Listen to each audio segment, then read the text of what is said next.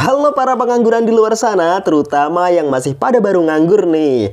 Nih, pada kesempatan kali ini, saya selaku pengangguran senior akan mengajak kalian semua untuk melihat proses budidaya jamur.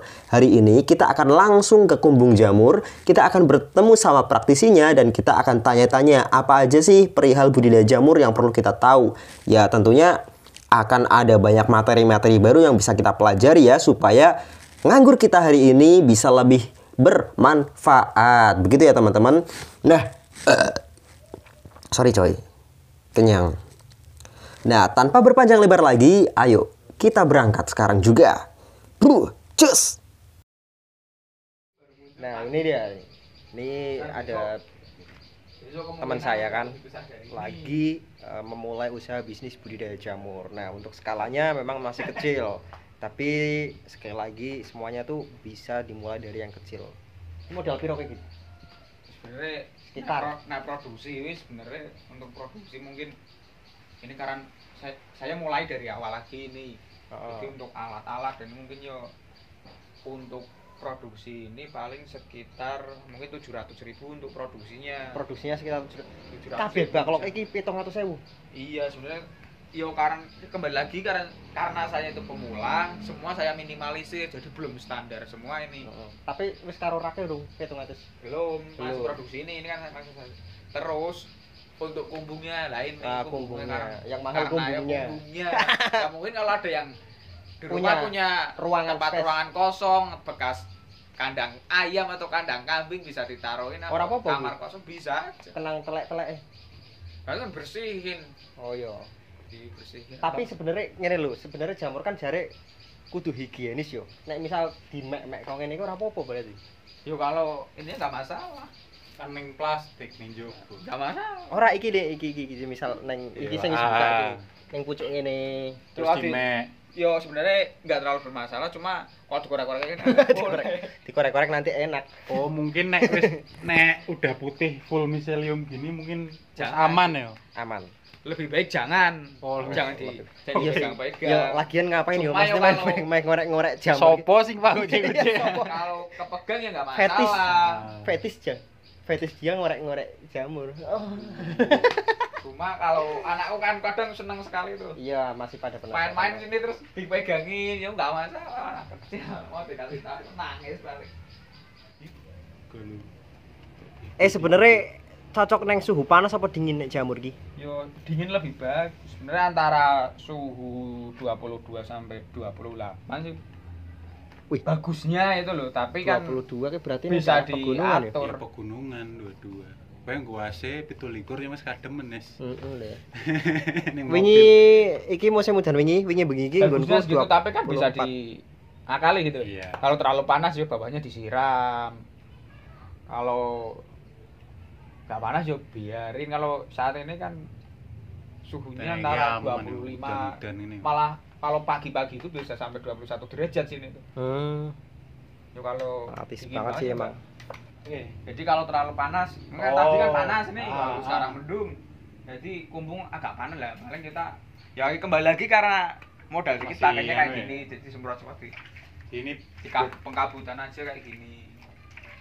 Jadi agar ya lumayan lembab mungkin lah ini karena masih belum standar berarti disemprote langsung neng awang-awang apa langsung kalau terlalu panas langsung ke oh. jamurnya nggak masalah ke ke ini biar oh. nggak terlalu ah. kalau terlalu panas. panas gitu loh penguapannya kan mesti banyak penguapan tuh tapi kalau kok nggak terlalu panas kan bisa dikira-kira gitu malah kalau di tempat yang lebih panas lagi bawahnya itu disiram pakai air. Berarti sampai basah banget. Jadi kan uapnya dingin. Nah ini tapi ini sudah lumayan bagus sebenarnya. Ini kan nanti mungkin saya tutup lagi pakai plastik mungkin seginilah. Atas juga nanti saya tutup. Jadi biar nggak terlalu panas. Ini juga kalau hujan satu malaman penuh itu airnya ada yang masuk. Ketambu ya? Jadi tampias ininya basah jamur terlalu basah. Resiko rak ngono yo kalau dijual langsung pagi langsung ke konsumen nggak masalah kalau salah tapi kan kak nek masih melalui distributor oh cepet ini terus ya. kan lonyot gitu loh Oh, enggak, Kayak- maksudnya dari segi ininya bakloknya aman, Pak. backlog aman tapi jamurnya kan kalau terlalu basah kan Harus dipetik ya. remuk gitu loh Oh iya iya iya, Kalau iya. terlalu basah ketahanan. kan kayak gitu Eh, tapi pancen ora ora serempak iki panene yo. Maksudnya iki nongol iki nongol jadi mungkin jamur itu kan nggak setiap lock muncul bersamaan Hmm. makanya harus kalau bisa ya lebih banyak lebih bagus Oh Jadi biar iya. hariannya Stabil istilahnya ngon, lebih stabil lah. iya. Wah, ngene iki. lagi sing wis dipanen ndi iki? Contoh sing wis dijabut.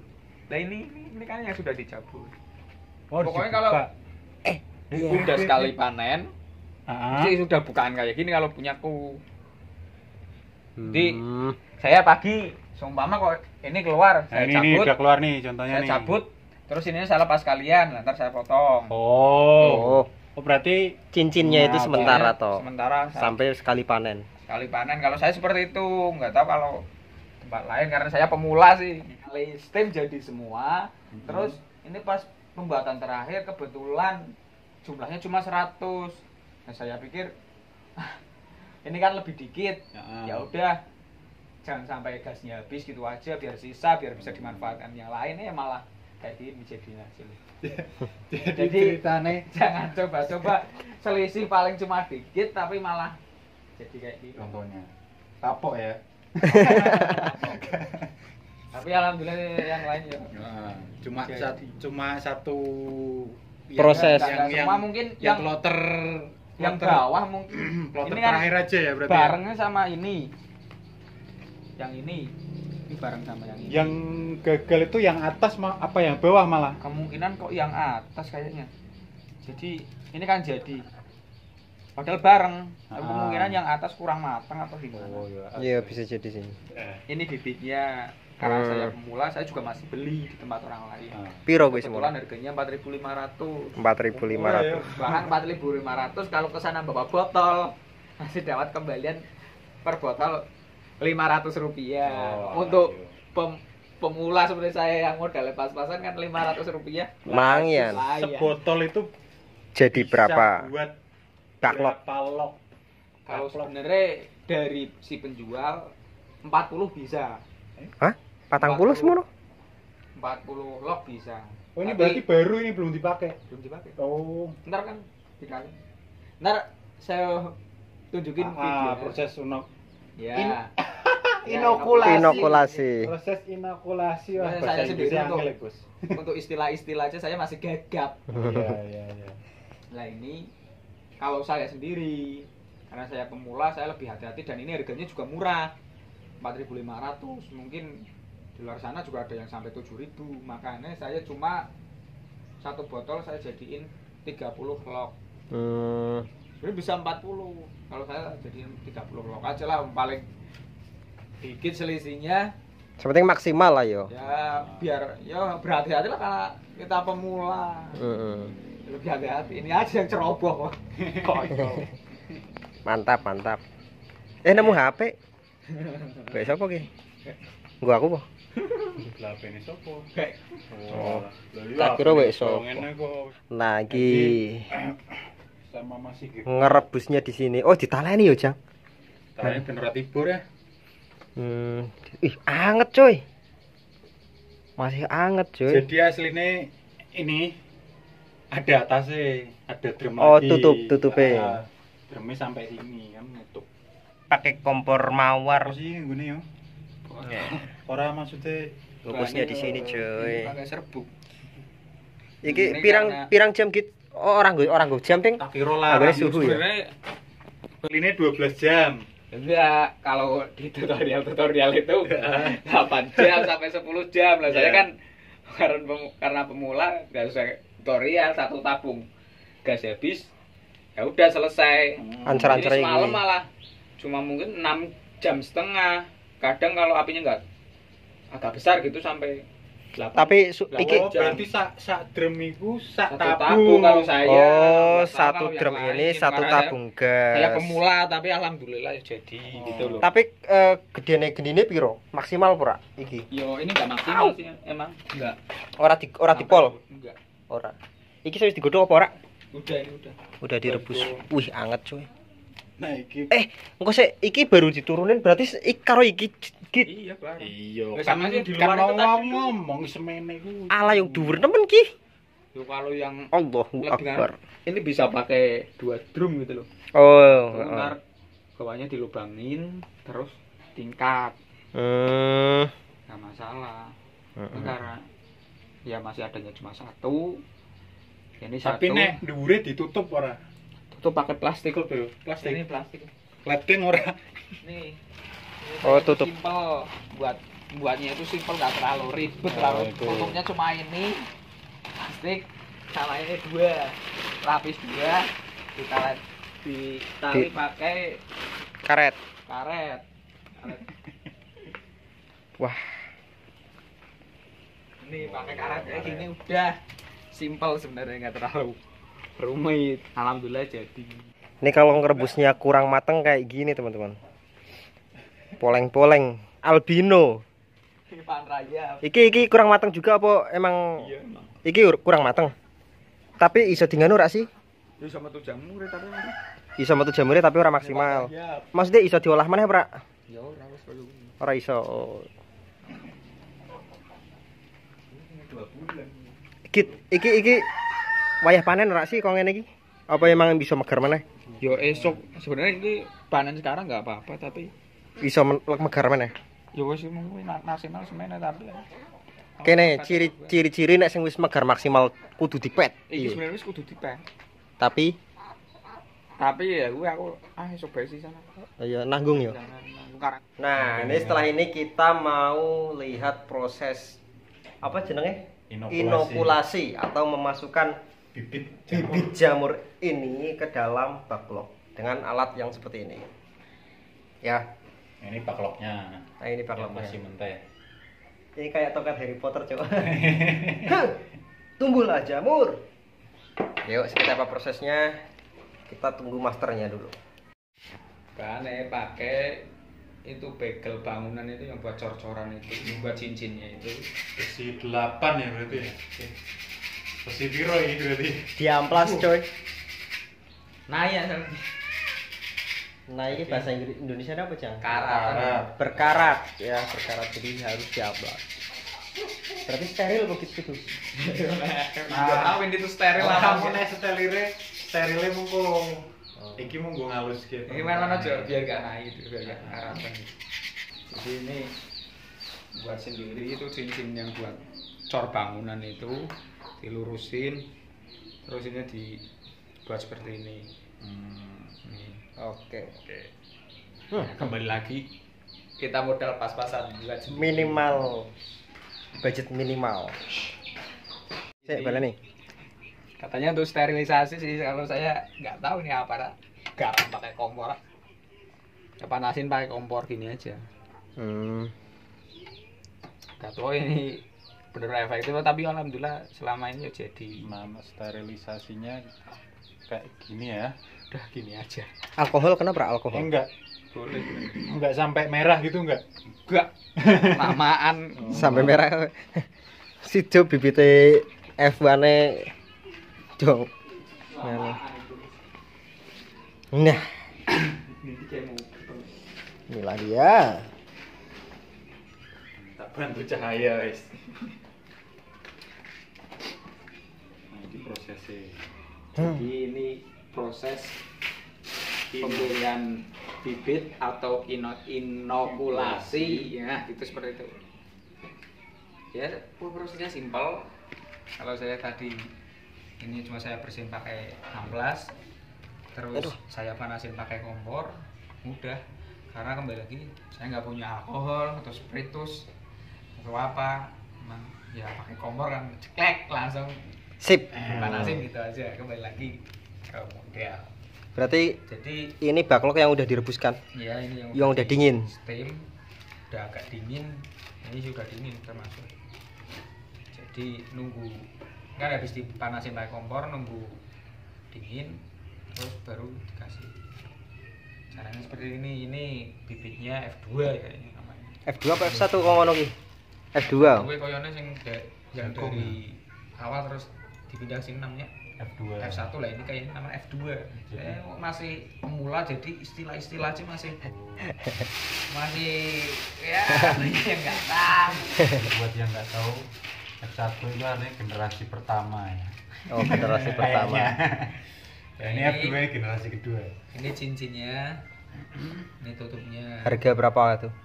ini kalau yang ini kalau nggak salah itu satu kilo tiga puluh empat ribu yang ini satu kilo tiga puluh dua ribu satu kilo isinya hampir lima ratusan lebih Wih. lima ratus lebih yang Murah. yang ini lima ratus lebih yang ini sekitar empat ratus lima puluhan karena lebih besar sih Murah ya. lebih berat otomatis Daripada pakai pralon ribet ya. ribet jadi ini beli juga nggak sekali pakai kan Bisa, Pak. Oh, itu yang yang habis dipakai bisa dipakai lagi nggak? iya kan bisa kan yang tadi kan tak, Oh. tak potong itu loh Hmm, tak potong terus kita kan dicuci lagi dipakai lagi bisa. Nah, lagi ini sebenarnya kalau saya ini juga tak steril Daripada pakai Kalau pralon ya. ini kalau ini saya tuh pas ngerebus ininya locknya saya masukin di tong juga saya plastikin saya masukin di tong Oh, jadi kena Nah, uapnya. jadi mungkin terus steril Jadi, Ikut steril lah, anggap aja steril. agak baca Ya mudah-mudahan. Tapi berhasil kan. Yang penting kan intinya berhasil. jadi yang penting yakin Yang penting yang penting yakin. Oke, yuk, ini saiki. seperti ini Oke. Eh. kita tutupnya Buka. jadi juga di ruang tamu kembali lagi karena tempatnya nggak ada yang harus standar harus kedap udara lah atau apa karena saya lihat di YouTube itu Tan- tanpa masker, tanpa sarung tangan. tangan juga tadi Bismillah aja. ya jadi buat prosesnya saya seperti itu. Buat nyari yang cara profesional ada. Ada Cuma kalau tapi ini seadanya dulu adanya Iya. Kita kita lihat ya maksudnya kalau misalnya Pak apa cara yang biasa-biasa aja bisa. Kok dibuang? tuh ujungnya? Yang paling atas ini kan. apa ini kan yang paling atas kan bukan serbu gini loh. Ini yang Oh, paling atas ini kan. Ini klamide apa, apa iki? apa gue yo kulitnya lah yang paling dhuwur jadi tak tak Dua. oh iya itu dalamnya katul. Oh grejen nggak kelihatan. Grejen oh grajen juga. Ini yang bahan dari grejen kayu juga ini. Oh, ini juga ada campuran jagung ini. Kui digodek kudu lembut apa piye? lembutan kan Harus halus. semakin halus kan semakin merata kalau ini kalau cara saya yang masih Hmm. pemula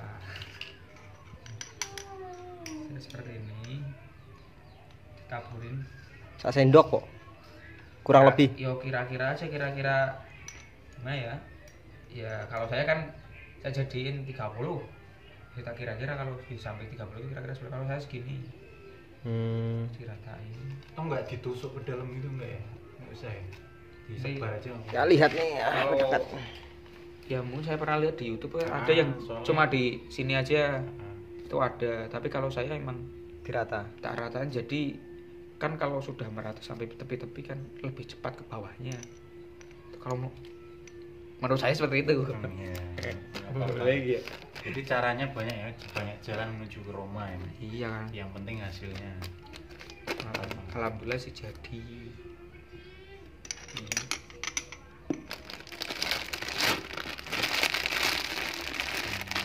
Cara nutupnya nih. Set. Set. Set. Set.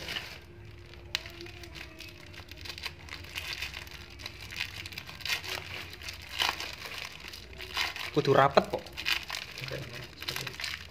kenceng bukan rapat Yang penting kenceng. yo lebih baik. berarti eh gigi asli buat anu yo buat usaha jamur ya? Buat emang suppliernya. Wis bisa ono sing gawe berarti emang akeh yang konsumen. Pembudidaya berarti bisa akeh.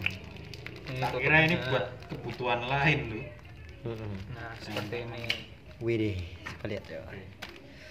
Ya buatnya piro satu tapi nek dulu bikin ke pakai anu pralon oh. Dulu masih pakai pralon. tujuh tahun yang lalu Iya. belum seperti Ini sekarang kelihatan ya cuy, ini yang ada bibitnya tuh ada putih-putihnya tuh. Kayak tempe sih. Kalau tempe kan ditebar. Iki yo. Oh iya, iya, Iya, iya. santai. Wede. Wah, ngeprok kowe. Mendekat ah, biar viewerku anu puas. Hmm.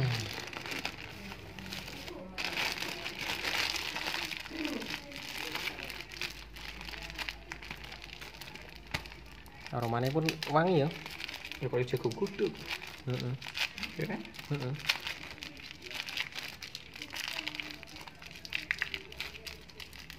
Ya mungkin kalau lebih hati-hati lagi mungkin Lebih bagus. lebih bagus. Yang cuci tangan, cuci tangan pakai sanitizer mungkin.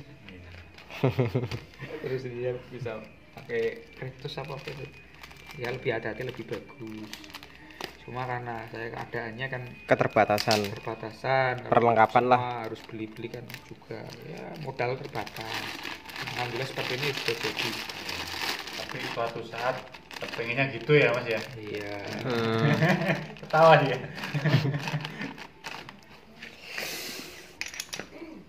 Set set set. Jadi buat pemula nanti kalau mau bikin nggak banyak alasan ya. Nah, Udah lah, kalau nggak ya nggak perlu ini itu ini itu. Ini buktinya yang ala kadernya aja jadi, jadi mau bagus.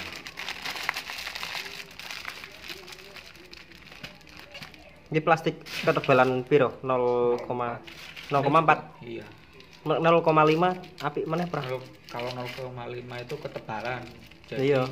lebih ke Kuat. oh, lebih ekonomis yang 0,4 sih Mhm. 0,3 nggak apa-apa yang penting hati-hati jangan sampai pecah gitu Iya. kan semakin tipis kan berarti semakin banyak isinya kalau satu kilo Oh, iya. Semakin banyak. Tapi nek dari segi keamanannya lebih tebal lebih bagus. iya cuma kalau saya sih no, Gimana saya?